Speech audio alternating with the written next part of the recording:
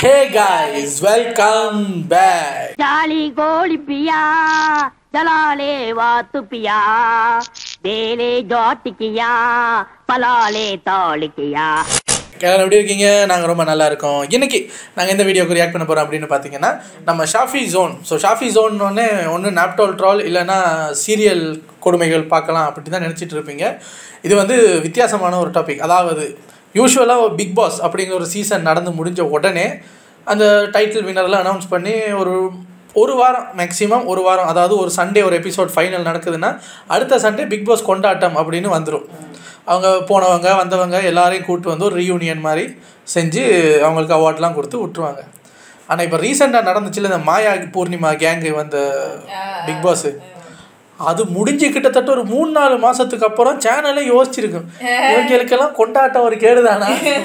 ஆனால் நம்ம show format படி பண்ணி ஆகணுமே சரி பண்ணுவோம். இந்த நாளைக்கு பண்ணுவோம் நாளான்னைக்கு பண்ணுவோம்னு இவ்வளோ நாள் கழிச்சு போன வாரமும் எப்பயோ பிக் பாஸ் கொண்டாட்டம்னு ஒன்று பண்ணாங்க. அதுலேயும் வந்து நம்ம மாயா பூர்ணிமா அவங்கெல்லாம் வந்து ஏதோ பண்ணிட்டாங்க போல இருக்கு. ஒரே ஒரு மீம் பார்த்தேன் என்னன்னா நம்ம அர்ச்சனா டைட்டில் வின்னர் அங்கே போய் நிற்கும் போது அர்ச்சனாவோட ஃபேன் அப்படின்னு ஒரு கேர்ள் வந்து நான் அவங்களோட பெரிய ஃபேன் அப்படின்னு அர்ச்சனாவோட ஒரு ஃபேன் கேர்ள் மூமெண்ட் நடந்துட்டு இருக்கும்போது மாயாவும் பூர்ணிமா அவங்க அதாவது உங்களுக்கு அவங்கள பிடிக்குது பிடிக்கல. பட் அவங்க இப்போ டைட்டில் வின்னர்ல அந்த டைட்டிலுக்காவது ஒரு மரியாதை கொடுத்து ஒரு பப்ளிக் ஒரு ஷோவில் அப்படி இருக்கும்போது இந்த சிம்பிள் ஒரு சபை நாகரிகம். அது கூட தெரியலை. அது அந்த பொறாமையின் வெளிப்பாடு. பொறாமையின் வெளிப்பாடு தான் இதே இது வந்து கொண்டாட்டம் வரைக்கும் கூட வெயிட் பண்ணல ஒரு டீம் அதாவது நம்ம அர்ச்சனா அவங்கெல்லாம் ஆரி ஜெயிச்சு எல்லாரும் கத்தும் போது அவங்க அந்த அந்த வின்னிங் மொமெண்ட்லயே அப்படி உட்காந்துருந்தாங்க ஸோ அவங்களோட ஒப்பிடும்போது மாயா பரவாயில்ல. ஏதோ இத்தனை மாதம் கழிச்சு கொண்டாட்டத்தில் வந்து அப்படி பண்ணியிருக்கு. அதை வந்து நம்ம ஷாஃபி ஜோனில் பிக் பாஸ் திண்டாட்டம் அப்படின்னு மாற்றிருக்காரு அதுதான் நம்ம இன்னைக்கு பார்க்க போகிறோம். சரி வாங்க இது ஒரு ஃபிஃப்டீன் மினிட்ஸ் வீடியோங்கிறதுனால டக்குன்னு பார்த்துட்டு ரெடி ரெடி ஹாய் ஹலோ வணக்கம் and welcome to Shafi Zone நான் உங்க ஷஃபி அண்ட் இன்னைக்கு நம்ம பார்க்க போறது அடி வாங்கத்தினே அளவெடுத்து செஞ்ச மாதிரி இருக்கும். நிறைய பேர் பிக் பாஸ் கொண்டாட்டம் வந்திருக்கு. போடுங்க போடுங்கன்னு கேட்டீங்க. பிக் பாஸ்ல கண்டென்ட் கிடைச்சா விட்டுருவோமா? ஆல்ரெடி கண்டென்ட் இல்லாம காஞ்சி போய் கருவாடாய் உட்காந்துருக்கோம் அதனால தான் இன்னைக்கு தொக்கா தூக்கிட்டு வந்திருக்கேன். 升级了吗？升级了。And girls. உங்க இஷ்டத்துக்கு உட்காருங்கன்னு சொன்னா மறுபடியும் டீம் ஏ டீம் பின்னு பிரிஞ்சு உட்கார்ந்துருவாங்கன்றத நல்லா தெரிஞ்சுக்கிட்டு தெளிவா நம்ம இதுக்கு வந்துருவோம்? டீம் ஏ டீம் பி இவனுங்களே பிரிச்சு உட்கார வச்சிட்டாங்க போல. எப்படியும் என்னோட போர்ஷன் கட் பண்ணிடுவாங்க. இந்த பிக் பாஸ் ஷோவை யார் தெரிஞ்சு இல்லையோ இந்த அக்ஷயா புல நல்லா புரிஞ்சுக்கிச்சு அப்படிங்கிறது மட்டும் நல்லா தெரியுது. வாங்க அக்ஷயா வாங்க. எப்படியும் என்னோட போர்ஷன் கட் பண்ணிடுவாங்க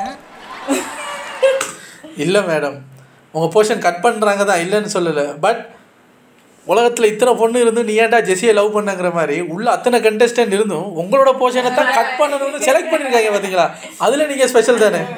இப்ப நீ சொன்னதுனால அது போடுவாங்க. கண்டிப்பா. சொன்னேன். Good Yeah. எப்படி? எப்படி பேசினா நம்ம பேசுறது எதுக்கு போகாது அப்படிங்கறதையே இந்த புள்ள இப்பதான் கண்டுபிடிச்சிருக்கு. எப்ப இத்தனை மாசம் கழிச்சு? கூடாதுமா. மாயா தல சொல்லு தல என்ன நடந்தது என்னடா இது?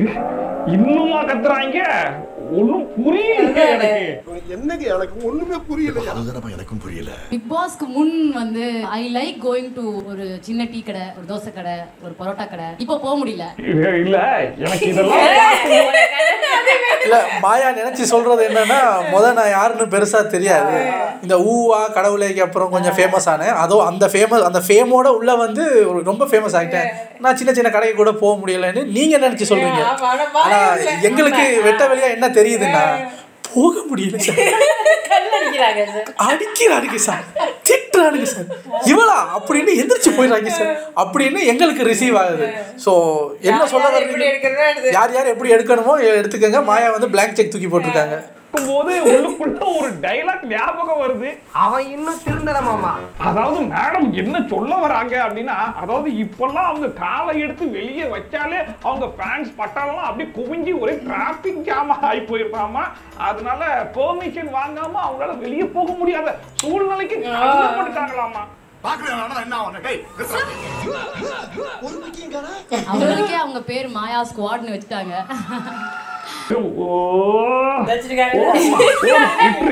காதுல ரத்தம் வந்துட போகுது ஒய் பிளாக் பிளாக் அதாவது இப்ப எனக்கு என்ன தெரியுமா பயமா இருக்கு நீயே இவ்வளவு பேசுறியே உனக்கு அடுத்ததா பேச போறேன் தலைவி பீனிக்ஸ் பூரிமா என்னென்ன பேசுவாங்கன்னு நினைச்சா ஈரக்குளம்லாம் அப்படியே புரட்டி போடுது எனக்கு படபடன்னு வருது பூர்ணிமா இப்படிதான் மெச்சூரிட்டி வந்துச்சு சித்தப்பா அந்த மாதிரி இருந்தது. நல்ல வேலை. இது வரைக்கும் வராத அந்த மெச்சூரிட்டி இப்பயாச்சும் எங்க தலைவிக்கு வந்துச்சு. அது வரைக்கும் சந்தோஷம். சரி ஓகே இப்போ நீங்க எதுவும் பேசாம அந்த மைக்க அப்படியே அடுத்தவங்க கிட்ட பாஸ் பண்ண போறீங்க. அதானே? சார் உங்க ஜட்ஜ்மெண்ட் ரொம்ப தப்பு சார். பிஃபோர் பிக் பாஸ் வந்து எனக்கு யார்கிட்ட பேசணும்னா நான் போய் பயங்கரமா ஹாய் அதெல்லாம் போட்டு அவங்க ரிப்ளை வராம அந்த மாதிரி இருக்கும். பட் இப்போ இல்லம்மா கொஞ்ச நேரத்துக்கு முன்னாடி இதே வாய் தான் ஏதோ மெச்சூரிட்டி காஞ்ச ரொட்டிலாம் பேசிக்கிட்டு இருந்துச்சு. அந்த மெச்சூரிட்டி இதுதானம்மா? மாயாவே சாப்பிட்டா நோமடி உள்ள நான் வந்து எனக்கு நான் ஒரு ஆளே இல்ல அப்படின்னு நினைச்சேன். இல்ல வேற லெவல்ல கொண்டாடுறாங்க அப்படியா? இப்ப மாயாவுக்கு சொன்ன அதே கருத்து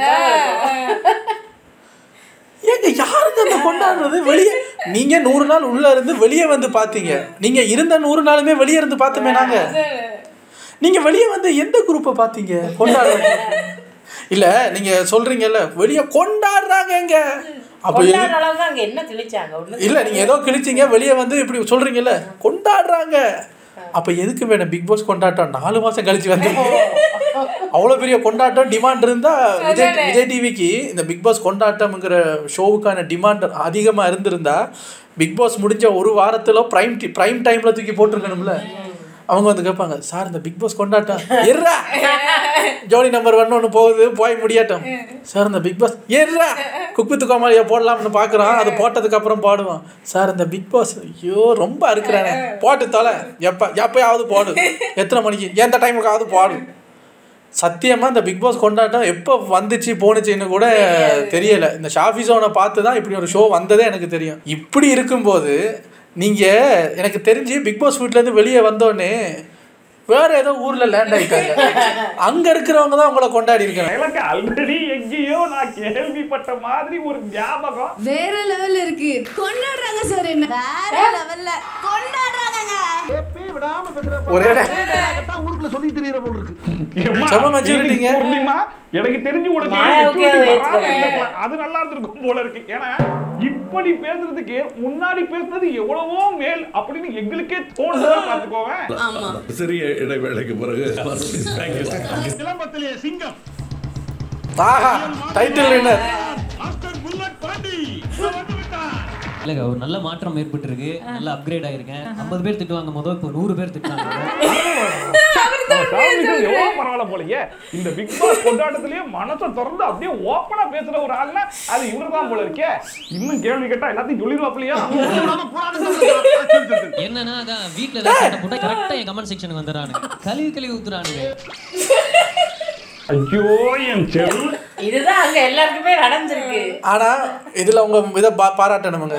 அங்க அத்தனை பேரும் கொண்டாடுறாங்க நான் டீ கடைக்கு போக முடியலைங்க அந்த மாதிரி புழுகு மூட்டையை அவுத்து கொட்டும் போது டிவி ஷோவில் முத ஐம்பது பேர் திட்டுனாங்க. இப்போ நூறு பேர் திட்டுறாங்க. ஆவுனா கமெண்ட் செக்ஷனுக்கு வந்துடுறாங்கன்னு உண்மையை சொன்னீங்க பாத்தீங்களா? அங்க இருக்கீங்க. சல்யூட் நீங்க இதுதான் டைட்டில் வினர் அதான் இதான் டைட்டில் வினருக்கு அழகு எனக்கு தெரிஞ்சு இதை விட ஓப்பனா வேற எவனாலையும் பேச முடியாதுடா. என்ன சார் சொல்ல மாட்டேங்கிறீங்க? இன்னும் எதுவுமே நடக்கல. அதுக்குள்ள என்ன பண்ணி சில பேர் சாரி அர்ச்சனா. டைட்டில் வின்னர்னு கூப்பிடுறோம் ஆனா இவ்வளவு ஓப்பனா பேசக்கூடிய நம்ம டைட்டில் வினர் சரவணன் விக்ரம் இவரை இந்த நிலைமைக்கு தள்ள ஆள் யாரு அப்படிங்கிறது அவருக்கு நல்லாவே தெரியும். ஆனா அந்த கேள்வியை யாராச்சும் இவர்கிட்ட கேட்டா நீங்க டைட்டில் வின்னர் ஆகாம போனதுக்கு விதியா இல்ல கூட இருக்கிறவங்க செஞ்ச சதியா? ரொம்ப கவனமா சதியா விதியா? அடிச்சு கூட கேட்பாங்க. அப்ப கூட சொல்லிடாதீங்க அப்படிங்கிற டைலாக் யாருக்கு பொருத்தமா இருக்குமோ இல்லையோ நம்ம டைட்டில் வின்னர் சரவணன் விக்ரமுக்கு தான் ரொம்ப பொருத்தமா இருக்குன்ற அளவுக்கு சதியா விதியா? விதி. மத்ததெல்லாம் ரொம்ப ஓப்பனா பேசிடுறாப்ல ஆனா இத மட்டும் எவ்வளவுதான் அடிச்சு கேட்டாலும் சொல்ல மாட்டேனே அப்படின்னு கோடு போட்டு வாழ்ந்துட்டு இருக்காப்லயே சதியா விதியா? விதி. Sir diplomatic diploma in computer science diploma in computer science அந்த நூறு நாள்ல என்ன பண்ணாரு அதே தான் திருப்பி பண்றாரு சின்னவுல அழகா இருக்க நல்லா நிறைய பேர் சொல்லுவாங்க. ஆனா இந்த டீம் ஏ டீம் பி அப்படிங்கிறது ஷோவோட முடிஞ்சு போச்சா அப்படின்னு சொல்லி கேட்டீங்கன்னா அதுதான் இல்ல. இந்த கொண்டாட்டம்லயுமே டீம் பில இருந்து ஒரு ஆளை கலாய்ச்சா அதுக்கு அந்த செட்டே அதிர்ற அளவுக்கு சிரிக்கக்கூடிய ஆட்கள் யாரா தெரியுமா இருக்காங்க? You look like me my negative version எடுத்து நெகட்டிவ்ல என்ன பார்த்தா வெள்ளையா இருப்பல அந்த மாதிரி நீங்க இருக்கீங்க. கேரக்டரை சொல்லல. செம்ம மெச்சூரிட்டி இல்ல? போல் இருக்குது நீ சிரிக்காத ஆத்தா. சனிக்கிழமை ஆனா மட்டும் சமாதானம் ஆயிடுறீங்களே ஏன்னா வெள்ளிக்கிழமை இன்னொருத்தரோட டர்ன் ஒரு சமரசம் ஆயிருவாரு இந்தா, இப்ப நம்ம மாயாக்கா போட்ட அட்டாக்கு யாருக்கு போட்ட அட்டாக்குன்னு தெரியுதா? தெரிஞ்சிருக்குமே. அதான் பிரேம்லயே வெளிச்சம் போட்டு. ஏங்க ரெண்டு டீம்ல பிரிச்சு உட்கார வச்சுவிட்டு அவங்க இவர் அட்டாக் பண்ணும்போது இவர் பாவம் மாதிரியும் இவங்க அவர் அட்டாக் பண்ணும்போது இவங்க பாவம் மாதிரியும் எங்களுக்கு காட்ட ட்ரை பண்றீங்க. எங்களுக்கு எல்லாருமே திருட்டு பயலுக மாதிரி தான் தெரியுது. இங்க யாருமே உருப்படி கிடையாது. ஏன்னா பிக் பாஸ் ஷோவை நாங்க பார்த்தோம். இங்க யாருக்குமே இந்த சீசன்ல இவர் பாவங்க இவர் நல்லவருங்க அப்படின்னு சப்போர்ட் பண்ண முடியல. எல்லாருமே அவங்களோட எல்லா சைடையும் காட்டிட்டாங்களா? உண்மையிலேயே நான் சப்போர்ட் பண்ணது வந்து அந்த பிக் பாஸுக்கு தான். எங்களோட டெய்லி பேசி பேசி பேசி டயர்டானார்ல அவர் தாங்க பாவம். காமிச்சிட்டீங்கல்ல? அப்புறம் என்ன?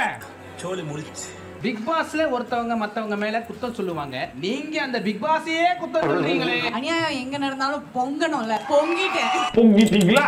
Super super. இல்ல நான் இன்னும் எதுக்கு வெயிட் பண்ணிட்டு இருக்கேன் அப்படின்னா அந்த அநியாயமே ஏதோ பொங்குனது நாங்க உங்களை தான் பார்த்தோம். சொன்னாங்க இல்லையா மெச்சூரிட்டி வந்துச்சு சித்தப்பா அந்த மாதிரி இருந்தது. அந்த மெச்சூரிட்டி எங்கேயாச்சும் ஒரு இடத்துலயாச்சும் இந்த ஷோல வெளிப்பட்டுருமா அப்படின்னு தான் வெயிட் பண்ணிட்டு இருக்கேன். வாங்க நீங்களும் என் கூட சேர்ந்து வெயிட் பண்ணுங்க. மெச்சூரிட்டிக்கு வெயிட் பண்றாங்க. தேங்க்யூ சொல்லணும் யார்கிட்ட சாரி சொல்லணும்? I want to put a full stop for that. Sorry. Kaveri பிரச்சனை கூட முடிஞ்சிரும். இந்த பிரச்சனை தான் முடியாதுன்னு பார்த்துக்கிட்டு இருந்தேன். ஆனா விச்சுமா மனசு? சாரி கேட்டு இதுக்கு ஒரு முற்றுப்புள்ளி வச்சுட்டாங்களே. ஆனா இதுதான் முற்றுப்புள்ளியா? இல்ல இந்த முற்றுப்புள்ளியை எடுத்து மறுபடியும் கமா போட்டு ஸ்டார்ட் பண்ணுவாங்களான்னு நம்ம வெயிட் பண்ணி பார்ப்போம். நான் வந்து நிக்சனை சொல்றேன். ஆக்சுவலா ஒரு ரீசனும் கிடையாது. ஆனா எனக்கு யாருக்கும் தேங்க்ஸ் சொல்லுவேன் தேங்க்ஸ் யாருக்கும் சொல்ல மாட்டீங்களா? சரி ஓகே அப்ப அந்த சாரி? நான் எதுங்க யாருக்குன்னா சாரி சொல்லணும்? நீ எதுக்கு சாரி? நான் ஒண்ணுமே பண்ணலையே. நான் யாருக்கும் சாரி சொல்ல முடியாது. சூப்பர் மெச்சூரிட்டி தான் வந்துருச்சு செவுத்துல எழுதி போட்டாலே நம்மளுக்கு கண்டென்ட் கிடைக்கும் போல இருக்கு. அந்த அளவுக்கு மேடம் பின்னி படம் எடுக்கிறாங்களே. அதாவது என் வாழ்க்கையில இல்ல அத கூட மாயா தான் அவங்களோட சார்பில் கேட்கணும் அந்த சாரி கூட. ஆ அந்த வந்துருச்சுல பாயிண்ட் அது சரி. அதனாலதான். அது உங்க மவுத் பீஸ் அங்க சைலண்டா இருக்கும் போது நீங்க எப்படி சாரி கேட்பீங்க பாத்தீங்களா? கௌசிக் பாயிண்ட பிடிச்சாரு. உங்க அதாவது ம்ம், உங்க சார்பில் மிஸ்டி வந்து சொல்லுது கௌசிக் பாயிண்ட பிடிக்கிறேன் இவங்களாம் யாருன்னே எனக்கு தெரியலையே. பிக் பாஸ் பார்த்து ரொம்ப அதான் அந்த மாயா பூர்ணிமா மாயா பூர்ணிமான்னு வெறுப்பின் உச்சத்துக்கு போனது இவங்களால தான் இப்போ அம்மா சொன்ன மாதிரி அவங்க சாரி கேட்காததுக்கு காரணமும் அதான். மாயா கேட்டாதான் அவங்களுக்கு கேட்ட மாதிரி இருக்கும். இப்படி ஒரு கேரக்டர் இது வரைக்கும் நான் பார்த்ததும் கிடையாது.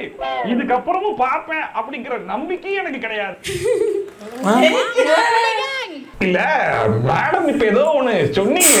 அத இன்னொரு வாட்டி சொல்லுங்க. இல்ல நான் என்ன கேக்குறேன்? இந்த புள்ளிங்கிற வார்த்தை நீங்களே அங்கதானே இருக்கீங்க. வாங்கன்னு யாரை கூப்பிடுறீங்க? அப்படிங்கிற ஒரே காரணத்துக்காக கடைசி பின்னாலே வாரத்துல உட்கார வச்சு மூணு மணி நேரமா கெஞ்சி கதறி அவங்கள சாரி எல்லாம் சொல்ல சொன்னீங்களே புல்லிங்கிறது ஒரு பெரிய வார்த்தை. I lost my values I lost my ethics I lost everything but I'm really sorry for what happen இப்போ மேடம் என்ன செஞ்சிட்டு இருக்கீங்க வாங்கடா புள்ளி கேங் அது வேற இது நாரவாய் இதுல டீம் லீடர் புள்ளின்னு கூப்பிட்ட உடனே துள்ளி குதிச்சு ஓடுற முத ஆள் யாருன்னு பாருங்க. அவரு அவரே நம்பிக்கிட்டு இருக்காரு. நான் பார்க்கலையே? அப்படி ஒரு ஓட்டம். எதுக்குன்னு எல்லாருக்குமே தெரியும். எல்லாருக்கும் தெரிஞ்சிருந்தாலும் உங்க வாயால அதை சொல்லும் போதெல்லாம் மக்களுக்கு நீங்க யாரு அப்படிங்கிறது தெரிய வரும். சோ ஒரு வாட்டி உங்க வாயாலே சொல்லிருங்க. இவங்களால தான் நான் எனக்காக விளையாண்டாங்க அவங்க ஜெயிக்கணும்னு என்னைக்குமே நினைச்சதே இல்ல. அதுவே ஒரு எவ்வளவு பெரிய பெருந்தன்மை. நீ உருட்டுமா? ஜெயிப்ப? அதாவது மாயா இப்ப பேசுறத வச்சு பார்க்கும்போது நமக்கு என்ன விஷயம் தெளிவா தெரியுது அப்படின்னா இவங்க எல்லாருமே பிக் பாஸ் ஷோல மட்டும் கிடையாது. வெளியே வந்துமே இன்னும் மாயா கட்டுப்பாட்டுக்குள்ள தான் இருக்காங்க. அப்படிங்கிறது நல்லாவே தெரியுது. அவங்க ஜெயிக்கணும்னு என்னைக்குமே நினைச்சதே இல்ல. அதுவே ஒரு எவ்வளவு பெரிய பெருந்தன்மை. இதுக்கு ஒரு சின்ன எக்ஸாம்பிள் காட்டவா? இப்போ நான் ஒரு எக்ஸாம்பிள் சொல்றேன். தேங்க்ஸ் சொல்லணும்னா சேம் பாத்தீங்களா இன்னுமே ஷோ முடிஞ்சிருச்சுங்கிறது கூட இந்த மனுஷனுக்கு தெரியாம இன்னும் மாயா என்ன சொல்லிட்டு போனாங்களோ அடுத்ததான் வந்து அதையே இந்த மனுஷன் ஒப்பிச்சுக்கிட்டு இருக்காப்ல அடுத்து சாரி வந்து நிக்சன். சாரிடா கூப்பிட்டதுக்கு. இந்த மனுஷங்கிட்ட ஃபன்னெல்லாம் நிறைய கொட்டி தான் கிடக்குது. ஃபன்னெல்லாம் பயங்கரமா பண்ணி விட்டுறாப்புல கண்டென்ட் எல்லாம் அள்ளி கொடுத்துறாப்புல. பட் இருந்தாலும் என்ன? சேர்க்க தெரியல. அவனோட போனே கொன்னுடுவேன்.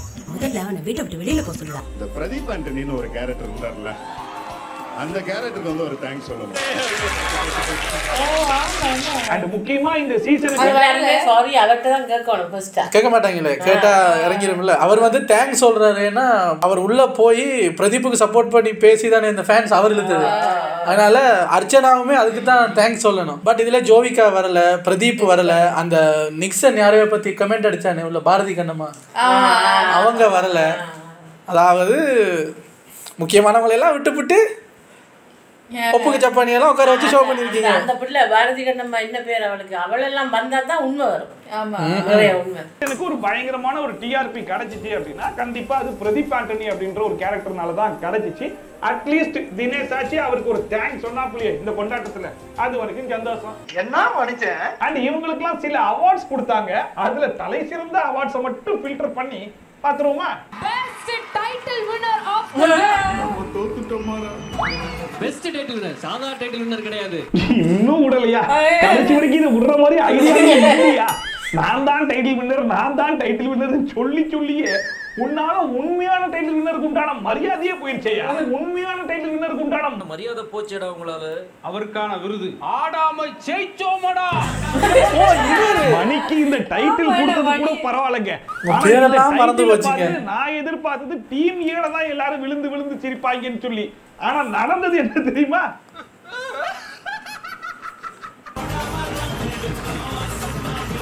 மணி மட்டும் வெளியே போய் இதை பார்த்தாப்புல அடே கூடவே சுத்திக்கிட்டு கருத்துல என்ன கலாய்ச்சா? ஃபர்ஸ்டா சிரிக்கிறாலும் நீங்களா தான் இருக்கீங்களா? அப்படின்னு நினைச்சுக்கிட்டு என்ன மறந்துட்டியா?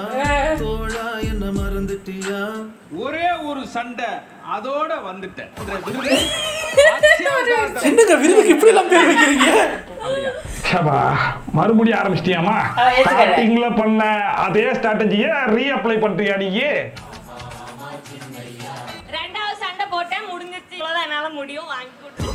ஆக மொத்தத்துல நீ கத்துக்கிட்டது ஒரே ஒரு ஸ்ட்ராட்டஜி அந்த ஒரே ஒரு ஸ்ட்ராட்டஜியை வச்சு இந்த ஷோ முழுக்க ஓட்டிடலாம்னு முடிவு பண்ணி வந்திருக்க?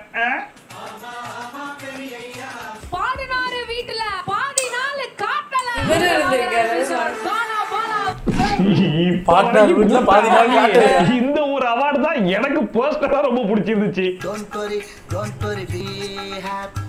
இதை முதல்ல நீ வாங்கிருங்க. அவ்வளவு கருணோடு இருக்குது அன்னை தெரசா கொடுத்து எப்படி? கிடைக்கிற கேப்ல முத்தானே வர லைட்டா நம்ம விச்சோமாவை கலாய்ச்சி விட்டாரா இல்லையா? சரி ஓகே அந்த மெயின் அவார்டு என்ன? அதை காட்டுங்க. அதுக்கு தான் ரொம்ப ஆர்வமா இருக்கேன் நானு. சத்துணவு சகோதரி! சத்துணவு ஆயான்னு சொன்ன பிரச்சனை வந்து சத்துணவு சகோதரி. மாய வேட்டை இடிஞ்ச கோட்டை வீடு. ஒரே வார்த்தையில மொத்த புள்ளிக்காக்கி உடைச்சு விட்டீங்களா பரவாயில்ல அருமையா இருக்கு. ஆனாலும் நான் ரொம்ப ஆர்வமா எதிர்பார்த்துட்டு இருக்குது யாருக்குன்னு உங்களுக்கு என்ன தெரியும். நம்ம பீனிக்ஸ் பூர்ணிமாக்கு தான் என்ன அவார்டை கொடுக்க போறீங்க? தமாசு தமாசு. தினமும் புலம்பு காசு எடுத்து கிளம்பு காசு எடுத்துட்டு வந்த ஆளு. எதிர்பார்ப்பு அளவுக்கு இல்லைனாலும் பரவாயில்ல. பட் இருந்தாலும் கடைசியா ஒரு ரெண்டு அவார்டு கொடுத்தாங்க பாருங்க. இந்த ஷோலயே அதுதாங்க பயங்கர ஹைலைட் பெஸ்ட் டூரிஸ்ட் அவார்ட் வாங்குறாங்க. ஆடியன்ஸா வந்து கூட நம்ம பார்த்திருக்கோம். ஆனா டூரிஸ்டா வந்த முதல். மேடம் இவரே டூரிஸ்ட் நான் எனக்கு இப்பதான் ஞாபகம் வருது. இன்னொரு அனன்யா. அண்ணா பாரதி ஞாபகம் இருக்கா? வந்தாங்க போனாங்க. டூரிஸ்ட் கூட இல்ல. அது துபாயில இருந்து வந்த முத ஆள் நம்ம ஆர்ஜே பிராவோ தான். பர்ஃபெக்ட்டா கொடுத்துட்டீங்களா? சாம்பார் எனக்கு ஆப்பு. ப்ளீஸ் வாங்க அனன்யா. பாருங்க அந்த அவார்டை படிச்சுட்டு நம்ம முத்தனே குபீர்னு சிரிச்சாருன்னா எப்படி அவார்டா இருக்கும் பாருங்க தண்ணி கேன் போட வந்தேன் சார் தண்ணி கேன் போட வந்தேன் சார். போட வந்தேங்க. போட வந்தவ கூட அம்மா தண்ணி அப்படின்னு ரெண்டு வார்த்தை பிரோஜனமா பேசுவா ஆனா அது கூட இல்லாம ஆனா இந்த தண்ணி ஆனா இவங்களுக்கெல்லாம் ரெண்டு தடவை chance கிடைச்சது, wild cardல கூட. ஆனா எனக்கு தெரிஞ்சு அனன்யாக்கு தான் பெர்ஃபெக்ட்டா மேட்ச் ஆகுது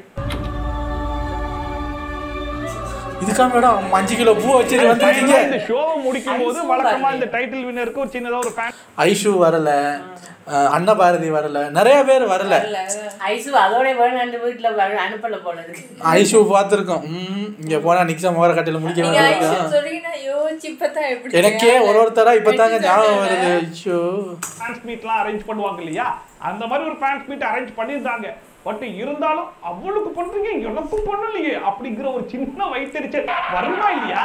ஒரு ஹீரோயின்லாம் நான் இந்த மாதிரி யாரையுமே நான் இந்த மாதிரி வந்து எல்லாம் பண்ண மாட்டேன் உங்களை பார்க்கும்போது வந்து எனக்கு அது ஏன்னு தெரியல உங்களை அவ்வளோ பிடிச்சிருக்கு. பொறாம லைட்டா. என் நண்பு அர்ச்சனான்னு சொல்லிட்டு உங்களுக்கு ஒரு. ரெஸ்ட்ரிக்ஷன்னால என்ன தீஞ்ச வாட அது வரத்தான் செய்யும் அந்த வயிற்றுச்சல் அதாவது ஷோக்குள்ள இருக்கும்போது மட்டும் கிடையாது. ஷோவை விட்டு வெளியே வந்தாலும் அவங்களுடைய ரியல் கேரக்டர் என்ன அப்படிங்கறத அப்பப்ப அவங்களே வெளிச்சம் போட்டு காமிச்சிடுறாங்க. ஒன்ஸ். ஆல்வேஸ் முள்ளி கேட் அப்படிங்கறத நிமிடத்துக்கு ஒரு முறை நிரூபித்துக் கொண்டே இருக்கிறார்கள். அவங்களுக்கு என்னவா அர்ச்சனை அசிங்கப்படுத்திட்டோம். இங்க அசிங்கப்பட்டது யாரு? சோ அவ்வளவுதான் இந்த சீசனுடைய பிக் பாஸ் கொண்டாட்டம். எனக்கு தெரிஞ்சு இந்த விஷயங்கள் மட்டும்தான் ஓரளவுக்கு சுவாரஸ்யமா இருந்த மாதிரி இருந்துச்சு. மத்ததெல்லாம் முடிஞ்சு ஜவ்வாய் இழுத்து ஒரு மூணு நேரத்துக்கு. இதுல. அது வேற கதை. ஸோ நீங்க பிக் பாஸ் கொண்டாட்டம் பார்த்துட்டீங்களா? எவ்வளவு சுவாரஸ்யமா இருந்துச்சு? அண்ட் இதெல்லாம் பார்த்து என்ஜாய் பண்ணீங்களா அப்படிங்கறதெல்லாம் மறக்காம கமெண்ட் செக்ஷன்ல சொல்லுங்க. ரொம்ப சுவாரஸ்யமா இருந்தது. ஏன்னா நான் பார்க்கல. அதனால ரொம்ப இன்ட்ரெஸ்டிங்கா இருந்தது. அதான இன்ட்ரெஸ்டிங்கா இருக்கு. அதனால அம்மா எல்லாம் விழுந்து விழுந்து சிரிச்சாங்க. மிஸ்டி எல்லாம் சந்தோஷமா தூங்கிச்சு. ஏன்னா அதை நாங்க பார்க்கல. இப்போ அந்த பதினஞ்சு நிமிஷம் பார்த்ததுக்கே பாருங்க நான் பழைய மாதிரி இருபத்தி ரெண்டு நிமிஷத்துக்கு பேசி வச்சிருக்கேன். பிக் பாஸ்ன்னு வந்தாலே அவங்க ஒரு கையை தூக்குனாலே பாஸ் பண்ணி திட்டணும் போல இருக்கு. பாருங்க சார் அவன் கையை தூக்குறான் சார். என்ன சார் அப்படிங்கிற மாதிரி ஒரு இதா மாறிடுச்சு. இதுக்கு மேலே நான் அறுக்க விரும்பல. உங்களை அடுத்த வீட்டில் வந்து சந்திக்கிறேன். டேக் கேர் நல்ல குடும்பம்.